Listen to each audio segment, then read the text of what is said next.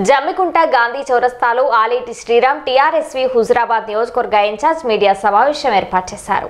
గారు కేటీఆర్ గారు TRS party అనేక అవకాశాలు కల్పిస్తే ఈనాడు కన్న తల్లిదండ్రులను చదువు చెప్పిన గురువులను రాజకీయంగా ఎదిగిన రాజకీయ గురువులను మర్చిపోనటువంటి సందర్భాలలో ఉన్నటువంటి ఈ ఈనాటి దేశ రాజకీయాలలో నువ్వు ఒక చీడ పురుగుగా ఒక దొంగ రాజకీయాలకు తెరలేపాలని చూస్తున్నావు ఈటల రాజేందర్. ఈటల రాజేందర్ బిడ్డ కబర్దార్ ఇంకొకసారి బడుగు బలైన వర్గాల నాయకుల పట్ల ఇంకొకసారి అనుచిత వ్యాఖ్యలు చేస్తే బిడ్డ ఊరుకోమని చెప్పి సందర్భంగా తెలియజేస్తా ఉన్నాం. కన్న తల్లిదండ్రులు జన్మనిస్తే నీకు గురువులు చదువు చెప్తే రాజకీయంగా నీ కేసీఆర్ గారు జన్మనిస్తే ఈ రోజు నేను కేసీఆర్ గారి మీద గెలవకపోతే నా జన్మకు సార్థకత లేదనడం ఇంత నీచానికి ఒడదొడుగులకు ఎదిగినవంటే నువ్వు ఈ పార్టీలో ఉంటే ఎంత వెన్నుపోటుదారునువో ఈ రోజు తెలంగాణ ప్రజలు హుజురాబాద్ నియోజకవర్గ ప్రజలందరూ కూడా ఈ సందర్భంగా చూస్తూ ఉన్నారు నీ మాటలు వింటూ ఉన్నారు. మేం ఓపిక పడుతున్నాం టీఆర్ఎస్ పార్టీ కార్యకర్తలుగా. కేసీఆర్ గారి పట్ల కేటీఆర్ గారి పట్ల హరీష్ రావు గారి పట్ల బాల్క సుమనన్న పట్ల విద్యార్థి నాయకులు ఉద్యమ నేతల పట్ల నువ్వు మాట్లాడే మాటలు కూడా చాలా దారుణంగా ఉన్నాయని సందర్భంగా తెలియజేస్తా ఉన్నాం. ఏదైతే నువ్వు బీజేపీ పార్టీలోకి పోవడమో అంతకంటే ఘోరాతి ఘోరంగా దిగజారి మాట్లాడుతున్నావు. నీకు భయం నువ్వు నీ అంత మోసగాడు ఈ భూమి మీద లేకుండా పోయింది అని చెప్పి ఈ సందర్భంగా తెలియజేస్తా ఉన్నా. ఇవాళ తల్లిదండ్రులు ఎంతనో చదువు చెప్పిన సార్లు ఎంతనో కేసీఆర్ కూడా నీకు అంతే.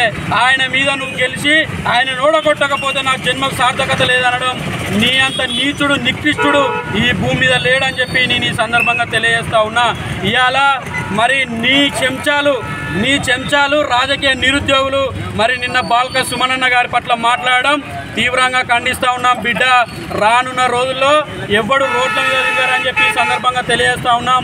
మీ నాయకుడు తిన్నింటి వాసాలు లెక్కబెట్టి ఇలా కేసీఆర్ గారికి ఎంత వెన్నుపోటు పొడిచిండో మీరు కూడా టీఆర్ఎస్ పార్టీ లేకపోతే మీ బతుకెక్కడిది మీరెక్కడిది మీ సర్పంచులు ఎక్కడిది మీకు ప- మాజీ అనే పదవులు ఎక్కడిరా బోసిడికే లుచ్చానా కొడుకుల్లారా?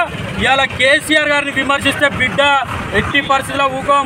అదేవిధంగా ఈ పా ఈ పార్లమెంట్ సభ్యుడు బండి సంజయ్ గారిని ఈ శాసనసభ్యుడు ఈటల రాజేందర్ గారిని ఇక్కడ ఉన్నటువంటి ముగ్గురు ఎమ్మెల్యేలు నలుగురు ఎంపీలకు మీ విద్యార్థి నాయకులు అందరం కూడా చందాలేసుకొని రెండు బస్సులు పెడతాం బిడ్డ. మీ బీజేపీ పాలిత ప్రాంతాల్లో మీరు రండి.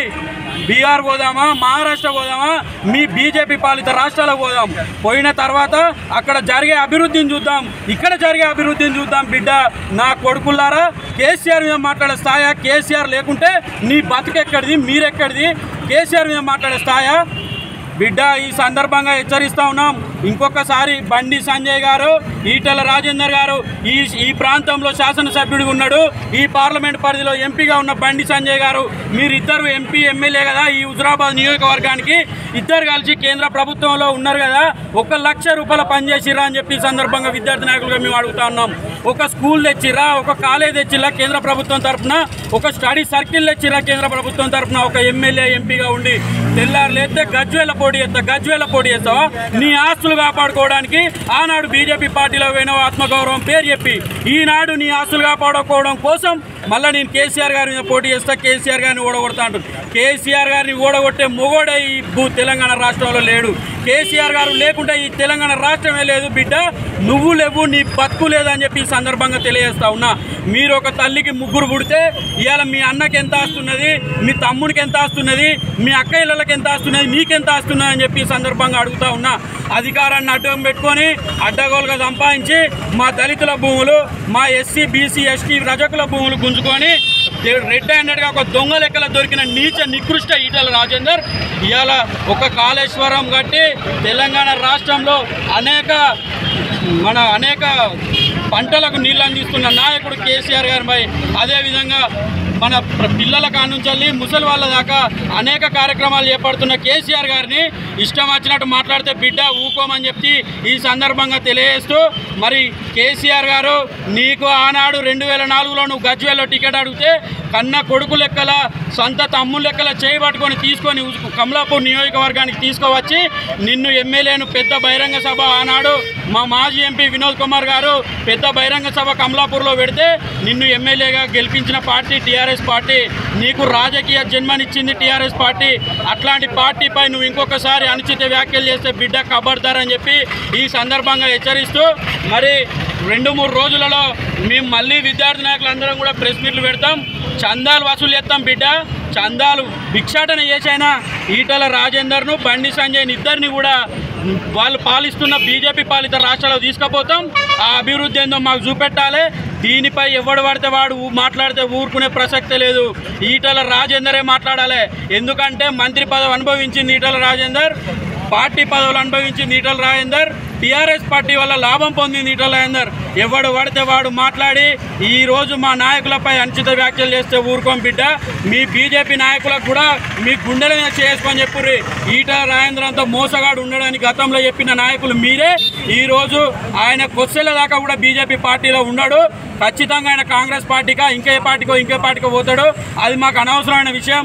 కానీ ఇంకొకసారి కే ఈటల రాజేందర్ మాటలు పట్టుకొని ఎవడన్నా ఈ నియోజకవర్గంలో మా నాయకులపై బాల్క సుమనన్న గారిపై కేసీఆర్ కేటీఆర్ గారిపై ఎవరిపైన అనుచిత వ్యాఖ్యలు చేసినా ఊరుకోమని చెప్పి సందర్భంగా తెలియజేస్తూ ఈటల రాజేందర్ నువ్వు మొగోనివి అయితే నీకు మొగతనం ఉంటే హుజరాబాద్ నియోజకవర్గంలో మళ్ళీ పోటీ అయ్యి మళ్ళా గెలువు కానీ నువ్వు గజ్వేల పోటీ చేసి పోటీ చేస్తా అంటే నువ్వు తప్పుకుంటాను అంటే ఇక్కడ ఓడిపోయినట్టే లెక్క కదా. నువ్వు గజ్వేలకు పోవడానికి రీజన్ ఏంది? కేసీఆర్ ఓడగొడితే కేసీఆర్ ఎక్కడ పోటీ చేస్తే అక్కడ చేస్తా అని చెప్పు. గజ్వేలైనా చేయడానికి కారణం ఏంది? నీ ఆస్తులు కాపాడుకోవడం కోసమే కదా అని చెప్పి ఈ సందర్భంగా తెలియజేస్తూ మరి ఈటల రాజేందర్ గారు ఎనిమిది నెలల నుండి గెలిచిన కానుంచి ఈ రోజు వరకు కూడా ఒక్క అభివృద్ధి కార్యక్రమం కూడా చేయకుండా దొంగ లెక్కల ఒక రెడ్ హ్యాండెడ్గా మన ఓటుకు నోటు కేసులో రేవంత్ రెడ్డి లెక్కల దొరికిన దొంగ లెక్కల మరి మిగతా అన్ని జిల్లాలు తిరుక్కుంటా నా అంత మొగోళ్ళు లేడు నేను నాకు ఎమ్మెల్యేలు టచ్లు ఉన్నారు మీ ఇంట్లో టీఆర్ఎస్ పార్టీలకు వస్తామని మాకు ఫోన్లు చేస్తున్నారు. నీ జయలలిత బినామీగా ఉన్న ఆస్తులన్నీ ఎక్కడ పోయినాయి? అవన్నీ కూడా మింగినావు నువ్వు అని చెప్పి ఈ సందర్భంగా తెలియజేస్తూ ఇవాళ నువ్వు బీజేపీ పార్టీ అధికారంలో ఉన్న రోజులు నువ్వు ఆ దొంగ పనులు చేసినావు కాబట్టి వాటిని కాపాడుకోవడం కోసం మాత్రమే నువ్వు బీజేపీ పార్టీ పార్టీలో ఉంటున్నావని ఈ సందర్భంగా తెలియజేస్తూ ఇంకొకసారి కేసీఆర్ గారి మీద కానీ హరీష్ అన్న గారి మీద కానీ బాల్క సుమన్ అన్న గారి మీద కానీ ఎమ్మెల్యేల మీద పిచ్చి పిచ్చి మాట్లాడితే ఈటల రాజేందర్ ఈ నియోజకవర్గంలో కాదు నేను తెలంగాణ రాష్ట్రంలోనే తిరగనీయమని ఈ సందర్భంగా తెలియజేస్తా ఉన్నా. మరి ఈ నియోజకవర్గంలో ఆనాడు నేను అభివృద్ధి చేసిన అని చెప్పినావు కదా ఈనాడు అక్కడక్కడ చిన్న చిన్న సమస్యలు వస్తున్నాయి. వస్తుంటే మీ బీజేపీ నాయకులు మరి ధర్నాలు చేస్తూ ఉన్నారు. అక్కడక్కడ స్కూళ్ళల్లో నీళ్ళు వస్తే ఇష్యూ చేస్తూ ఉన్నారు. మరి నువ్వు ఎమ్మెల్యేగా ఉన్నావు కదా నువ్వు ఎంపీగా ఉన్నావు కదా గతంలో నువ్వు మంత్రిగా ఉన్నావు కదా మరి నువ్వు అప్పుడు ఏం చేసినావు ఏం బీకినావు ఈటల రాజేందర్? దళితుల భూములు రజకుల భూములు కబ్జా చేయడానికైనా నువ్వు ఆ రోజు ఉన్నదని చెప్పి ఈ సందర్భంగా తెలియజేస్తా ఉన్నా. ఈ రోజు వరకు ఈ నియోజకవర్గంలో రెండు వేల నాలుగు నుంచి ఈ రోజు వరకు అభివృద్ధి జరిగిందంటే కారణం కేసీఆర్ గారు టీఆర్ఎస్ పార్టీ.